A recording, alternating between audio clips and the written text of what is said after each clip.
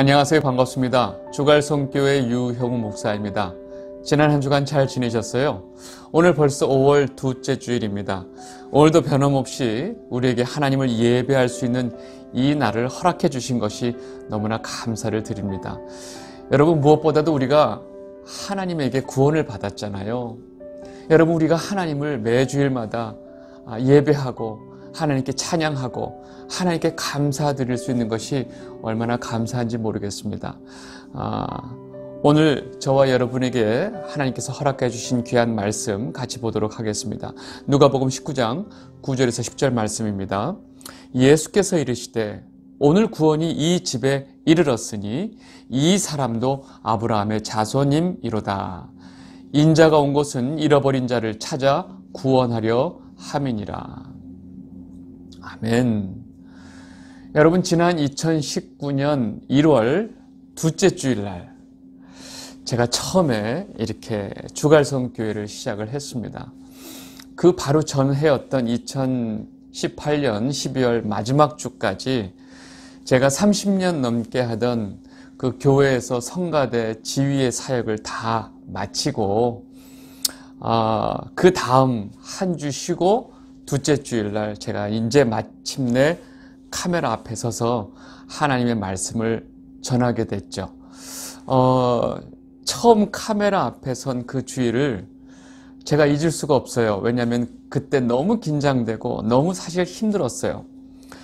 저에게 너무나 익숙하고 제가 너무 좋아하고 제가 사실 제일 잘할 수 있는 이 모든 일들을 다 뒤로 하고 조용히 하나님 앞에 이 하나님 말씀을 가지고 카메라 앞에 섰을 때 그 느낌을 평생 잊을 수가 없습니다. 어, 여러 가지 생각이 있었죠. 음. 근데 벌써 그렇게 말씀을 전하기 시작한 것이 벌써 1년 반이 됐습니다. 어, 제가 사실 처음 이렇게 설교를 시작할 때 제가 제일 걱정이 됐던 것은 기존의 이 설교 많은 분들이 익숙해져 있던 그 설교 있잖아요. 그 귀에 듣기에 좋은 그 익숙한 설교를 모든 사람이 좋아하는 이 시대에 예수 그리스도가 가지고 있는 복음은 우리는 먼저 죄인이고 또 우리는 예수 그리스도를 믿음을 통해서 우리는 고난을 겪어야 하고 반드시 고난이 수반된다는 거죠. 그리고 우리는 하나님 앞에 반드시 우리의 죄에 대한 회개 없이 이 하나님의 심판, 하나님의 진노를 피할 수 없다고 하는 이 명백한 복음의 사실을 제가 분명히 말을 해야 되는데 이 설교를 누가 좋아할까?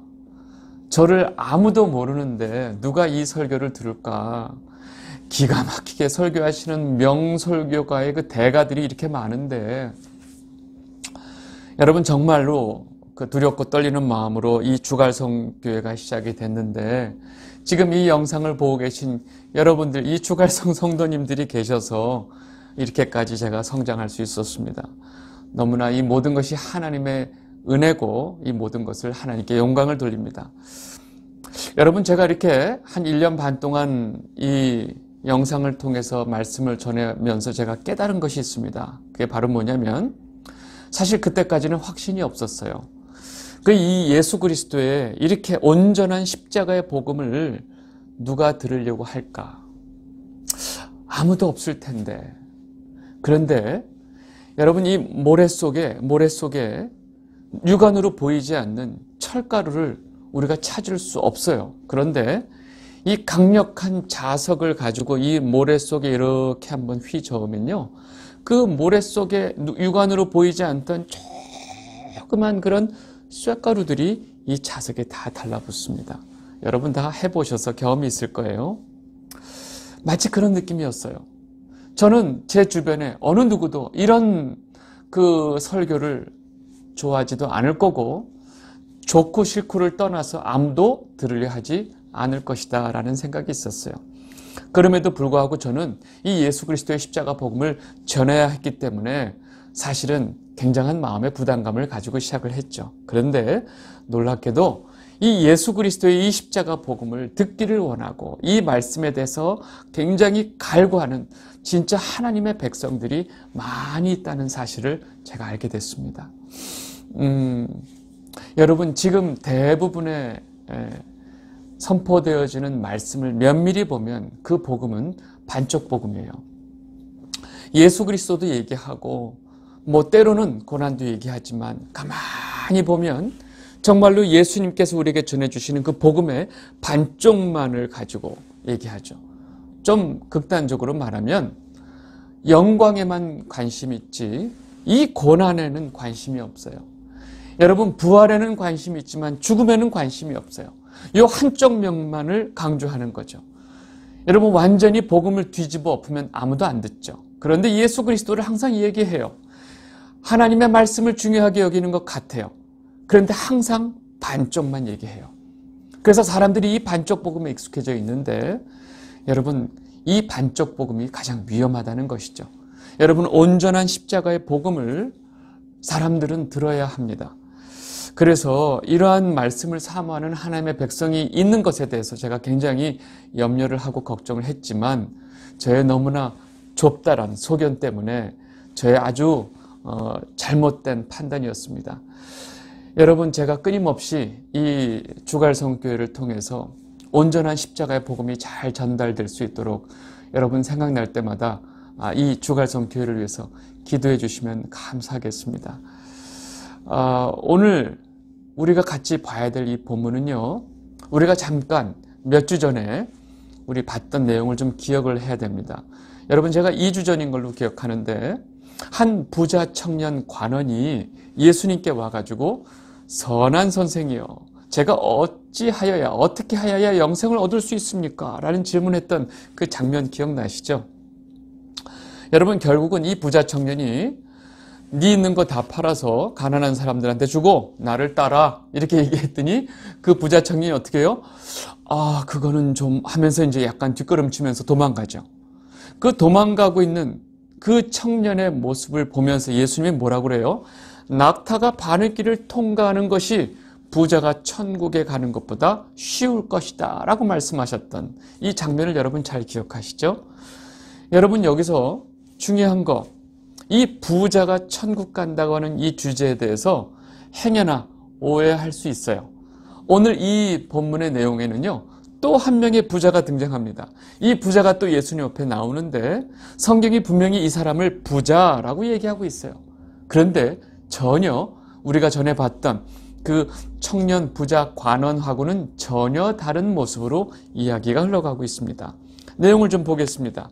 여러분 지난주에 예수님께서 여리고에 가까이 왔을 때 어떤 마을을 지나면서 어떤 소경이 그 예수님한테 다윗의 자손 예수여 나를 불쌍히 여기소서 하는 장면을 우리가 봤습니다. 그 마을을 지나서 오늘 본문에는 예수님께서 마침내 여리고에 도착하시죠. 이 여리고에 예수님이 도착하셨다는 소식이 아주 빠르게 소문이 퍼지죠. 예. SNS도 없었는데 하여튼 소문은 빨라요. 예나 지금이나. 근데 이 여리고에 살고 있었던 한 세리장, 성경이 말하는 이 사람은 세리장이면서 부자였어요. 부자인 사개오라고 하는 사람이 등장을 합니다. 누가복음 19장 1절에서 2절 말씀입니다. 예수께서 여리고로 들어가 지나가시더라. 사개오라 이름하는 자가 있으니 세리장이요 또한 부자라. 지금 이 한 부자에 대해서 사개오라고 하는 이름이 나왔고 이 사람은 세리장이었어요. 그리고 부자라 이렇게 설명하고 있죠. 여러분들이 잘 알고 있듯이 세리라고 하는 직업을 가지고 있는 사람들은 당시 유대 사회에서 하나의 증오의 대상이었어요. 왜냐하면 당시에 이 로마의 세금을 그 걷어들이는 중간에 매개체 역할을 하는 이 사람들은 이 동족들에게 혈세를 뜯어내서 자신들에게 경제적인 그 많은 이득을 얻고 있었고 부자였어요. 그래서 이 유대 사회에서는요, 마치 공인된 죄인들이었습니다. 그래서 마치 세리와 창기를 같이 보는 이런 수준으로 아주 사람들이 안 좋게 봤죠. 근데 오늘 등장하는 이 사개오는요, 세리의 장이었어요. 그 세리들의 장급이란 말이죠. 뭐예요? 죄인들 중에 죄인이에요. 우두머리였어요. 놀랍게도 이 사개오의 그 이름의 뜻이 순수함이란 뜻입니다. 놀랍죠? 그 이름은 순수함의 이름을 가지고 있는데 실상 하는 일은 아주 더러운 일을 하고 있었던 거죠. 여러분 좀 생각해 보세요. 조폭 두목 이름이 어, 유베드로, 유오뉴, 뭐 유이삭, 뭐 유바울 뭐 이렇다고 생각해 보세요. 얼마나 웃길까요? 어, 지금 마치 사케오의 이름과는 전혀 상관없는 전혀 상반된 일을 사케오가 하고 있었던 거죠. 그런데 이 여리고에 예수님이 오셨다는 소식을 이 사케오가 들었을 때 사케오에게 알 수 없는 마음이 생겨요. 그게 무슨 마음이냐면 너무 그분이 궁금하고 그 예수가 누군지 너무 궁금하고 너무 그분이 보고 싶었던 거예요. 누가복음 19장 3절에서 4절 말씀입니다. 그가 예수께서 어떠한 사람인가 하여 보고자 하되 키가 작고 사람이 많아 할 수 없어 앞으로 달려가기 가서 보기 위하여 돌 무화과 나무에 올라가니 이는 예수께서 그리로 지나가시게 되밀라라. 여러분 지금 여기서 우리는 한 가지 생각해야 돼요. 왜 사케오가 갑자기 그 예수님을 그렇게 보고 싶어 했을까요? 여러분 우리는 쉽게 생각할 수 있어요. 아 당시에 너무나 유명했고 사실 굉장히 많은 이슈가 되던 인물이니까 관심을 갖지 않았겠어? 그래서 좀 어떻게 생긴 사람이나 궁금한 그런 호기심이 있지 않았겠어? 라고 우리가 쉽게 생각할 수 있어요. 그런데 사케오가 하는 행동을 보면 이 호기심만으로 할 수 없는 행동을 해요. 사케오가 키가 작았어요. 많은 예수님 주변에 무리들이 있으니까 이 무리들을 뚫고 예수님을 볼 수가 없었던 거예요. 도저히 볼 수가 없었어요. 그래서 지금 사케오가 보니까 예수님과 그 무리들이 지나가는 이 동선을 보니까 분명히 이곳을 지나가는데 마침 거기에 예, 돌 무화과 나무. 옛날에는 이걸 이제 다른 성경에는 뽕나무라고 돼 있어서 예전에는 우리 자꾸 뽕나무라고 생각하는데 돌 무화과 나무가 있어요. 그래서 사케오가 그 돌 무화과 나무 위에 올라가서 나무 위에서 이 무리와 예수님이 지나가는 걸 보면서 예수님을 예, 볼 수 있었던 거예요. 그래서 돌 무화과 나무 위에 올라가요. 여러분 이것은 우리에게 너무나 익숙한 내용이라 우리는 쉽게 생각하는데 여러분 세리장이라면 나이가 있어요. 그죠? 예, 아저씨예요. 어느 정도 연배가 있어요. 그리고 모든 사람들이 자기를 경멸하는 것을 알아요. 여러분 나이 든 아저씨가 모든 사람들한테 경멸을 받는 직업을 가지고 있는 이 사람이 그 무리들이 자기를 한 번에 볼 수 있는 그 돌 무화과 나무에 올라간다고 하는 것은 쉬운 일이 아니에요. 사실은 올라갈 수 있는 것도 사실 문제인데 제가 그래서 이 돌 무화과 나무가 정말로 이, 이 사람이 쉽게 올라갈 수 있는 나무가 찾아봤더니 어, 모양을 보니까 좀, 좀, 좀 연습을 하면 올라가겠더라고요. 아마 평상시에 여러 번 올라갔었는지도 모르지만 하여간 중요한 것은 사개오가 이 돌 무화과 나무에 올라가서 예수님을 보고 싶어 한다는 것은 단순한 그냥 흥미 위주의 호기심에 에, 호기심을 가지고 예수님을 보고 싶어 한 게 아니라는 사실입니다. 사실상 사람들이 지나가다 야 저건 뭐야 저거? 저그 사개오 뭐? 사개오? 하면서 저저 인간이? 하면서 수도 없이 많은 그 무리들에게 어마어마한 손가락질을 받을 수 있는 위치였거든요. 문제는 사개오가 지금 그런 계산할 시간이 없어요. 그냥 오로지 예수님이 누군지 그분이 어떤 분인지 너무 보고 싶었던 거예요. 그런 생각할 경황 없이 사개오는 막 미친 듯이 달려서 그냥 돌 무화과 나무를 간신히 올라서 이제 예수님이 여기를 지나가면 내가 그분을 볼 수 있구나 하는 생각만 하고 그 위에 있었던 거예요. 마침 그 무리와 예수님이 이렇게 와서 마침 사개오가 있는 돌 무화과 나무 아래를 지나가고 있는데 그때 전혀 사개오가 기대하지 못했던 놀라운 일이 벌어집니다. 누가복음 19장 5절에서 6절 말씀 예수께서 그곳에 이르사 쳐다보시고 이르시되 사개오야 속히 내려오라 내가 오늘 내 집에 유하여야 하겠다 하시니 급히 내려와 즐거워하며 영접하거늘 아니 이게 무슨 일이래요? 이 사개오는 그냥 예수님만 보고 싶어서 위에서 혼자서 이렇게 빠끔하니 보고 있는데 예수님이 느닷없이 그 무리들 속에서 이 사개오를 쳐다보고 사개오 이름은 또 어떻게 알았대? 예수님이 사개오야 속히 내려와라. 내가 오늘 내 집에 거할 것이다. 여러분 지금 그 예수님이 어떻게 사개오의 이름을 알았을까? 사실 그건 중요하지 않아요. 중요한 건 사개오가 예수님이 사개오야 속히 내려오라 하고 예수님이 자기 이름을 불렀을 때 얼마나 소름이 끼쳤을까요? 놀랐을까요? 당황했을까요? 빨리 내려와. 내가 오늘 내 집에 거할 거야. 라고 말을 들었을 때 여러분 사개오가 어떻게 반응했는지 보면요. 사개오가 정신없이 내려와 가지고 너무나 기뻐하면서 너무나 즐거워하면서 예수님을 영접했다는 거예요. 자신의 이름을 알고 불러준 것도 지금 감당이 안 되는데 오늘 우리 집에 예수님이 거한다는 사실에 사개오는 너무너무나 기뻤어요. 여러분 사개오가 여기서 이렇게 즐거워하면서 예수님을 영접했던 이 상황이 자연스러운가요? 이것이 우연일까요? 당연한 걸까요? 아니요, 전혀 그렇지 않아요. 여러분, 어, 사람에 따라서 이 상황이 너무나 당황스럽고 너무나 감당이 안 돼서 어, 저는 당신이 오늘 우리 집에 거하는 것을 제가 감당하지 못하겠나이다 하고 거절했을 수도 있어요. 사개오는요, 이것이 너무나 기뻤던 거예요. 여러분, 이 사개오가 기쁘게 이 상황을 맞이하는 것은 절대로 우연이 아닙니다. 여러분 잘 보세요. 양들은요, 자기의 목자의 음성만 알아들어요. 요한복음 10장 3절 문지기는 그를 위하여 문을 열고 양은 그의 음성을 듣나니 그가 자기 양의 이름을 각각 불러 인도하여 내느니라. 여러분 양은요 자신의 목자의 음성만 알아듣고 따라요. 참 목자이신 예수님의 음성을 듣고 기뻐하면서 반응하는 것.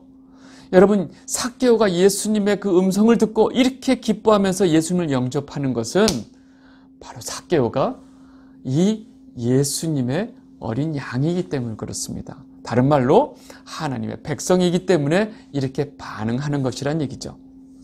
여러분 지금 이렇게 예수님과 사개오 사이에 너무나 너무나 기적적이고 너무나 아름다운 일이 일어나고 있었죠.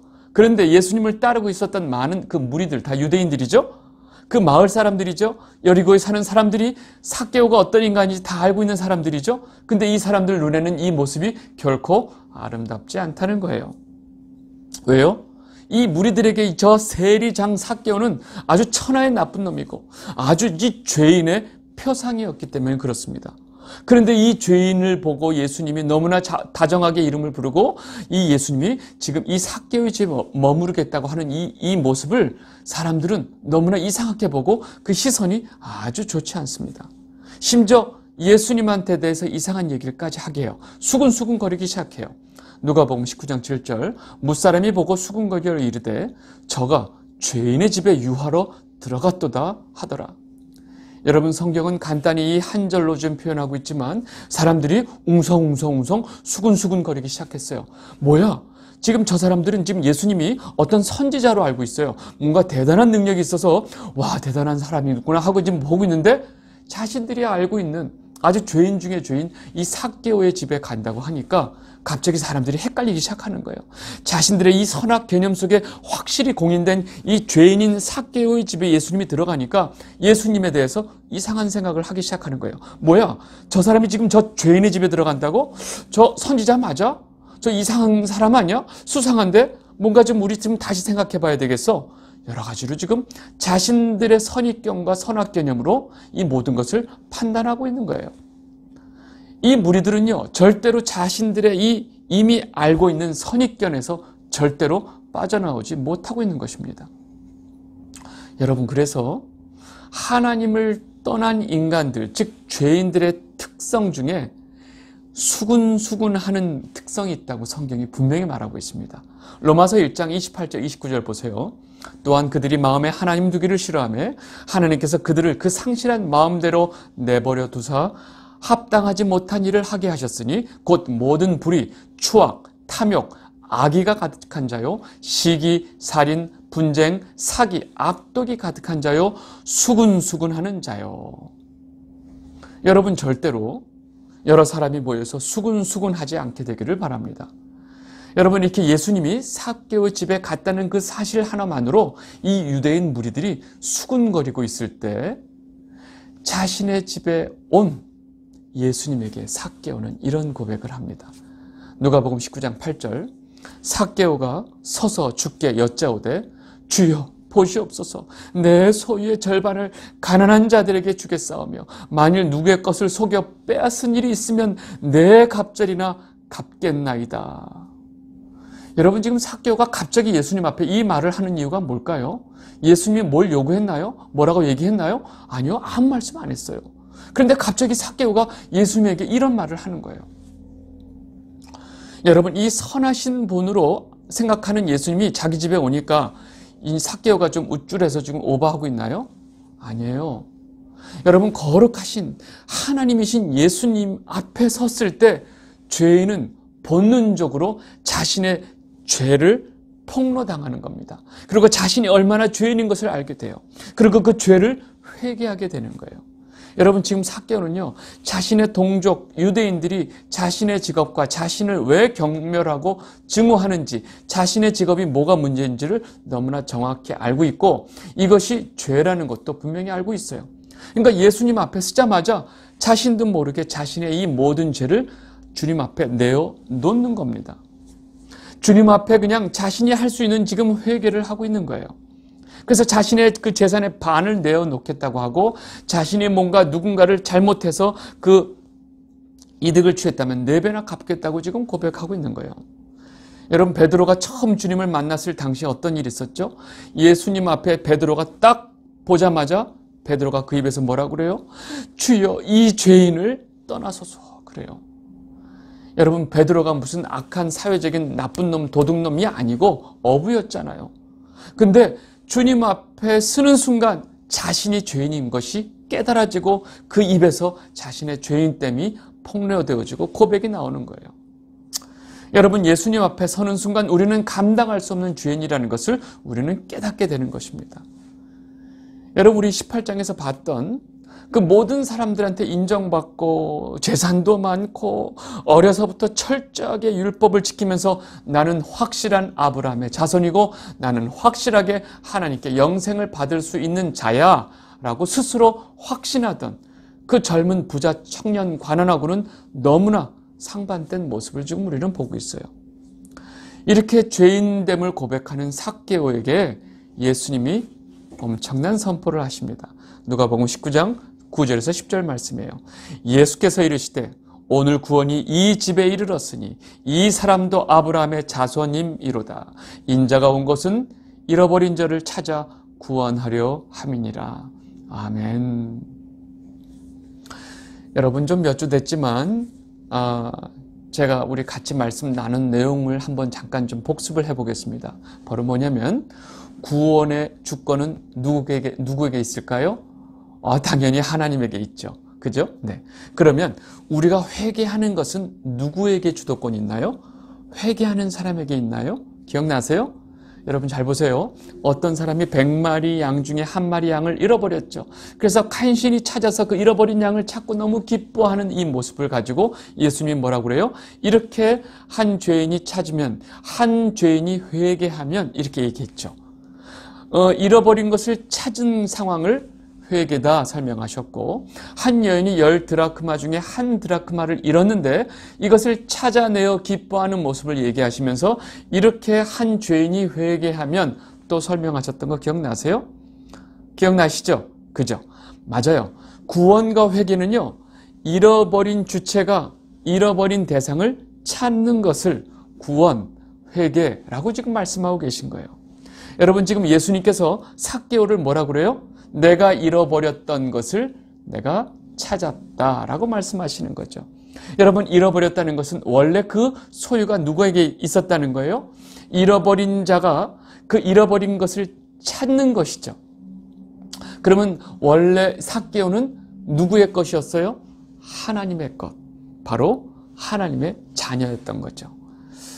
여러분 그렇다면 지금 예수님 앞에서 예수님을 만나자마자 그 입에서 회개가 터져 나온 거, 자신이 죄, 죄인인 것을 고백하는 이 회개는 누구의 주권인가요? 사개오가 미리 준비했나요? 아니에요. 바로 하나님의 주권에 의해서 찾아진 것입니다.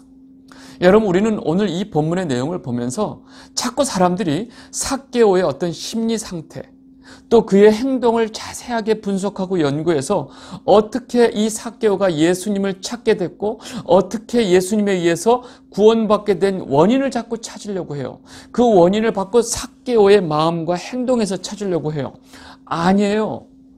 여러분 사개오가 그렇게 예수님을 보고 싶어 한 거, 또 예수님 그 나이든 아저씨가 그 창피한 걸 수치를 무릅쓰고 그 돌 무화과나무에 올라간 거 기쁜 마음으로 예수님을 영접한 거 자기 자신을 자기 재산을 다 반 이상 내놓겠다고 하는 이 모든 회개의 고백 이 모든 것이 다 하나님의 열심이고 하나님의 주권이라는 사실입니다.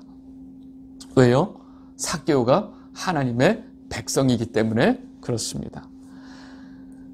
여러분 지금 오늘 본문 맨 서두에 이 사개오가 분명히 부자인 것을 성경이 분명하게 밝히고 있죠. 네. 굳이 왜 그렇게 사개오가 부자인 것을 밝히고 있을까요? 그것은 바로 앞전의 18장에 이 부자가 천국 가는 것은 낙타가 바늘 길을 통과하는 것보다 어렵다라고 하는 말씀에 대한 오해를 막기 위해서 그렇습니다. 잘 생각해 보세요. 우리가 생각하는 돈 많은 부자가 천국 가기 어렵다면 돈이 없는 가난한 사람들은 천국 가기가 쉬운가요? 대답해 보세요. 아니죠. 여러분 지금 분명히 그 본문에서도 사람으로서는 할 수 없으나 하나님은 할 수 있다라고 말씀하셨어요. 무슨 얘기냐면 돈이 많고 적고와 상관이 없이 오로지 구원의 문제는 하나님의 주권에 의해 달렸다라고 얘기하는 거예요. 근데 수도 없이 많은 인간들은 우리의 구원의 문제를 어떻게 생각해요? 우리가 어떻게 하면, 우리가 무엇을 하면에 초점을 가지고 있다는 거예요. 그게 아니라는 거예요. 그래서 지금 성경은 분명하게 우리의 구원의 문제를 인본주의적인 사고로 접근한 것을 그 기본적인 그 사고부터 차단하고 거부하고 막고 있는 거예요. 여러분 구원, 즉 우리가 하나님의 백성이 되고 우리가 천국에 가는 것은요. 인간의 어떤 노력으로서는 불가능하다는 거예요. 인간 측에서는 할 수 있는 게 아무것도 없어요. 오로지 전능하신 하나님의 주권에 의해서만 가능하다는 이 메시지를 아주 강하게 던지고 있다는 거예요. 여러분 예수 그리스도를 통하지 않고서는 우리가 아버지께로 나갈 수 없다는 것을 분명하게 얘기하고 있는 거예요. 여러분 이 성경의 분명한 메시지를 아주 교묘하게 예수님도 필요하고 또 우리가 무엇도 해야 되고 라고 자꾸 뒤집고 있는 거예요. 여러분 이렇게 뒤집고 있는 반쪽 복음을 여러분들 주의하셔야 됩니다. 여러분 저와 여러분이 뭘 해서 하나님의 자녀가 된 것이 아닌 것을 여러분 다시 한번 기억하시기 바랍니다. 이 영상을 보고 계신 주갈성 성도 여러분 하나님께서 베푸시는 우리의 구원은요 절대 우리의 상식과 아무런 연관이 없어요. 우리 마음속에 우리 머릿속에 이미 자리 잡고 있는 어떤 선입견과도 연관이 없어요. 우리가 살고 있는 이 사회, 인간이 만들어 놓은 이 사회가 규정해 놓은 어떤 옳고 그름, 선악의 개념과도 상관이 없다는 것을 우리는 알아야 됩니다. 구원의 문제는 오로지 하나님의 주권, 하나님의 뜻에 의해서 이루어진다는 사실입니다. 오로지 하나님만이 선이시고 하나님의 뜻과 계획에 의해서 모든 것이 이루어진다는 겁니다. 우리는 그런 하나님의 뜻과 계획을 판단할 자격조차 없다는 것을 우리는 분명히 알아야 합니다. 여러분 지금 이 순간, 오늘 이 순간에도 절대로 구원받을 수 없는 이 죄덩어리는 저와 여러분들이 어떻게 해서 하나님의 자녀가 되었을까요? 바로 예수 그리스도의 그 십자가의 보혈에 의해서 우리가 하나님 앞에 구원받았다는 사실을 우리는 놓치시면 안 됩니다. 여러분, 예수 그리스도 밖에는 우리가 구원받을 수 있는 방법이 없다는 거예요. 이것이 하나님의 방법이니까요.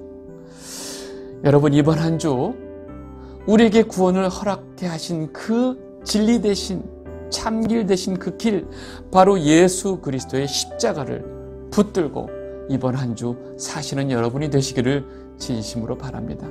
아시겠죠? 오늘 말씀 여기까지 하도록 하겠습니다. 감사합니다.